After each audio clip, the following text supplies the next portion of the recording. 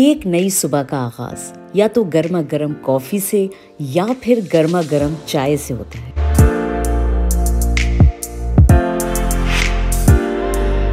जी जनाब तो आज की सुबह का आगाज़ जो है ना, वो हुआ है गर्मा गर्म कॉफ़ी से।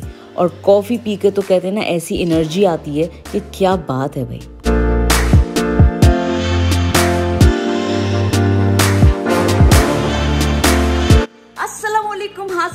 नाजरीन कैसे हैं आप लोग? उम्मीद करती हूँ कि आप लोग सब ठीक ठाक होंगे, मज़े में होंगे। और जनाब, अभी आपने देखा कि गर्मा गर्म कॉफ़ी पिए मैंने। कॉफ़ी के बाद आज मैंने बनाई है जनाब कुंडों की टिक्की आप भी सोचोगे कुंडों की टिक्की होती क्या है? अगर आपको नहीं पता है तो आज आपको पता लग जाएगा कि कुंडों की टिक्की होती क्या है। और अगर आपको पता है तो क्या ही बात है जनाब। तो आइए चलते हैं, पहले तो ये देखते हैं कि किस तरह है और क्या क्या चीज़ों की ज़रूरत है। सबसे पहले तो ये देखते हैं, ठीक है जी? जब वो देख लेंगे तो उसके बाद जो है हम बनाएँगे टिक्की अच्छा जी, जल्दी से भाग के जाएँ और जल्दी से पेंसिल और कॉपी लेकर आ जाइए और रेसिपी को नोट फरमा लीजिए। उसके साथ साथ हम, मैं बताती चलूँ कि ये क्या है? ये है जनाब मैदा और ये मैदा जो है मैंने दो कप लिया है। उसके बाद ये जो है, ये है सूजी। सूजी मैंने आधा कप लिया है। उसके अलावा जो है, यहाँ इसके बराबर में जो पड़ोसन जो हैं, वो हैं कोकोनट। इलायची और बादाम का पाउडर और उसके अलावा वनीला शुगर।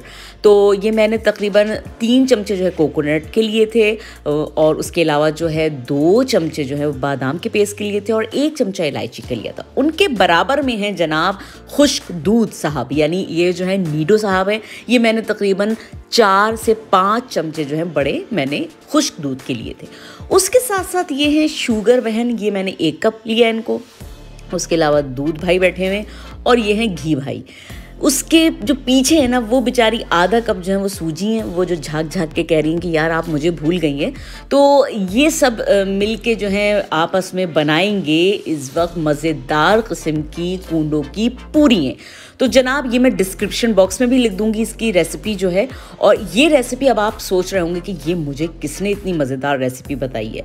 तो आज मैं आपको बताऊँ कि ये मज़ेदार रेसिपी जो है, मैंने एक चैनल में देखी थी। वो चैनल कौन सा था? वो था अंजी का किचन एक हमारी बहुत ही खूबसूरत और बहुत ही प्यारी आप है उनकी बातें भी क्या लाजवाब होती हैं। इतनी मज़ेदार बातें करती हैं, आप उनके चैनल पर जाइए, उनको देखिए, उनको सब्सक्राइब करें। बहुत अच्छी व्लॉग्स बनाती हैं। और ये है कि उनके चैनल से मैंने जो है ना, ये रेसिपी ली थी और मुझे बड़ी ही मज़ेदार लगी। मैंने कहा, यार, ये ट्राई करनी चाहिए। और बहुत ही इजी थी, बहुत ही बस ये चीज़ ऐसी थी कि ये हमें आराम से जो है ना, वो मिल जाती हैं। इसमें कोई इतनी मसले नहीं होते। तो जनाब, बस मैंने इस तरह इसको जो है वो मिक्स किया सारी चीज़ों को और उसके बाद जो है इसको इस तरह से गूंद लिया। ये देखें इसको इस तरह आप चेक करेंगे, ये इतनी इतना थिक होना चाहिए। और उसके बाद वही नॉर्मल जनाब अपने रोटी बनाई और उसके बाद जो है, मेरे पास भाई कोई फॉर्म वॉर्म तो थी नहीं तो मैंने तो लिया अपना ग्लास और उससे जो है मैंने इसकी फॉर्म्स काट ली। अच्छा जी टिक्की जो हैं वो तैयार हो चुकी हैं। अब इनको मुझे फ़ौरन जो है फ्राई करना है क्योंकि उनको मुझे ज़्यादा देर रख नहीं सकती हूँ क्योंकि इसमें शुगर मिली हुई होती है तो आपको पता ही होगा। तो जनाब, अब देखिए, ज़बरदस्त किस्म की गोल्डन टिक्कियाँ तैयार हो गई। अच्छा जी, टिक्कियाँ बन चुकी हैं और बेहद लजीज टिक्कियाँ बनी हैं। इतनी इतनी सॉफ्ट बनी हैं और इतनी मज़ेदार। आप लोग ज़रूर ट्राई कीजिएगा। मुझे उम्मीद है कि आप लोगों को बहुत पसंद आएगी। ठीक है जी? न्याज भी दे चुकी है। तो अब चलते हैं अपनी बकिया ब्लॉक का आगाज़। अच्छा जनाब, ये था दूसरा दिन और दूसरे दिन मैं नाश्ता अपने लिए तैयार कर रही थी और नाश्ते में जो है ना, मैंने आज सोचा कि क्यों ना आज ऑमलेट खाया जाए, क्योंकि वैसे तो मैं जैम ही खा लेती हूँ, मगर आज मेरा बिल्कुल भी दिल नहीं चाह रहा था जैम खाने का। मैंने कहा, नहीं भाई, अपना देसी ऑमलेट, पाकिस्तानी ऑमलेट बनाना है और वो खाना है। तो जनाब, इस तरह मैंने जो है ये ज़बरदस्त किस्म का ऑमलेट बनाया, मिर्चों से लबरेज़, और उसके साथ जो है मैंने अपना नाश्ता नोश फरमाया। अच्छा आज मौसम जो था ना, वो काफ़ी धूप या सनी डे था तो आज मैंने तहैया कर लिया नाश्ता करते वक्त कि आज जो है ना, मुझे अपने किचन की एक जो कैबिनेट है ना, उसको सेट करना है, क्योंकि वो बड़ा आउट ऑफ़ कंट्रोल हुआ हुआ था बेचारा। उसमें से कुछ चीज़ें जो थी, वो ऊपर रखी हुई थी, कुछ नीचे रखी हुई थी, काफ़ी डिस्टर्ब हुआ हुआ था।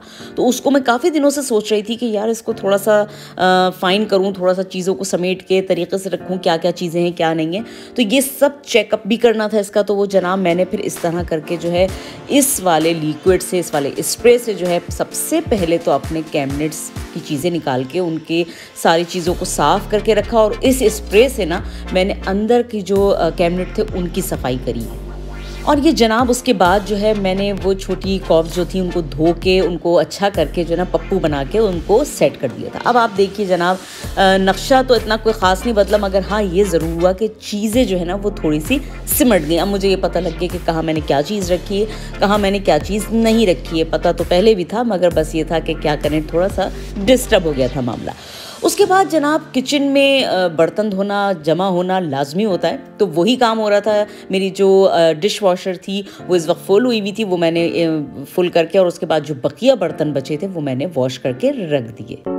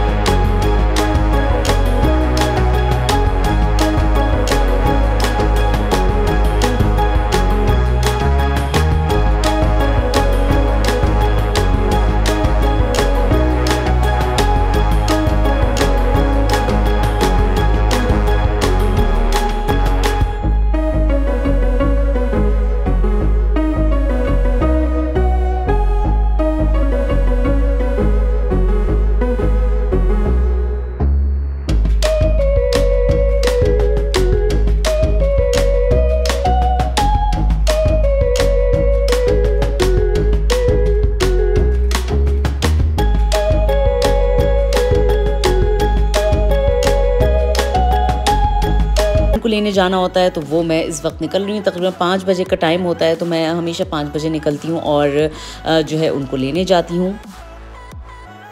जब यहाँ पहुँची तो जनाब यहाँ का तो सीन ही कुछ और था और यहाँ पर हो रही थी कोई रैली जिसकी वजह से उन्होंने पूरी स्ट्रीट को ब्लॉक किया हुआ था। 20 मिनट मुझे जनाब यहाँ पे खड़ो के वेट करना पड़ा और फिर जाके ये रास्ता क्लियर हुआ। जो है वो हफ़्ते का दिन है। अब हफ़्ते के दिन जो है जनाब ये होता है कि आज तो वैसे भी बड़ा सनी डे है तो आ, तो आज कुछ प्लान ऐसा था कि हमने सोचा था कि हम जो है अम्मी की तरफ़ जाते हैं क्योंकि वीकेंड है वीकेंड पे ये होता है कि आ, क्या करें? तो फिर ये होता है कि चलो अम्मा के घर चले चलते जो है अम्मा के घर जाते हैं ठीक है जी?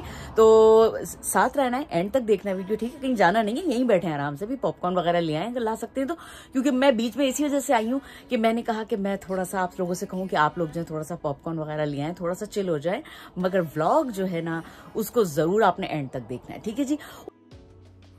जी नाजरीन हाजरीन अब मैं रेडी हो चुकी हूँ तैयार हूँ। अब चलते हैं और जो है चल के अपने आ, सफ़र का आगाज़ करते हैं। चले। आए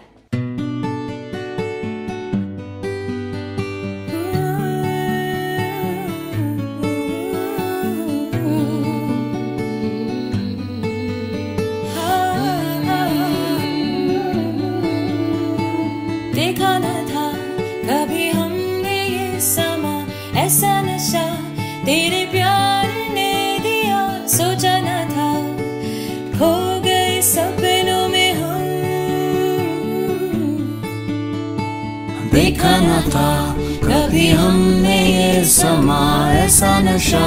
तेरे प्यार ने दिया सोचा न था खो गए सपनों में। ठुसम ठुस के नाजरीन और हाजरीन इस वक्त हम जा रहे हैं। कहाँ जा रहे हैं हम लोग भाई?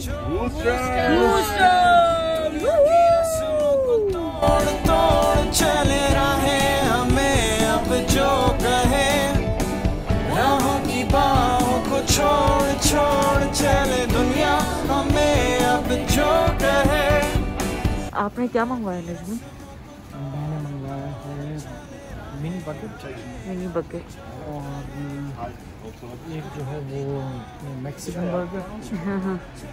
और six hot wings oh my god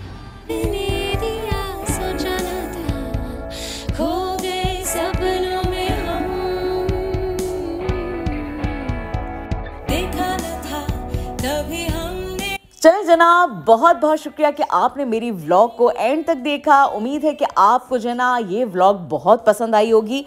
अगर पसंद आई है तो क्या करना है आपको? आपने सबसे पहले जो है कमेंट्स में मुझे बताना है कि आपको मेरी व्लॉग कैसी लगी। उसके बाद अगर आप मेरे चैनल पे न्यू हैं तो सबसे पहला काम आपको ये करना है कि इस व्लॉग के अख्ताम पर आपके, आपको मेरे चैनल को सब्सक्राइब करना है। अगर आपने सब्सक्राइब कर लिया तो लाइक और कमेंट में ज़रूर बताइएगा। अच्छा जनाब इन ताला ज़िंदगी रही तो नेक्स्ट व्लॉग में जनाब फिर हाजिर हो जाऊँगी। जब तक के लिए मुझे इजाज़त दीजिए, अपना ख्याल रखना है। अल्लाह हाफिज़, पाकिस्तान, जिंदाबाद।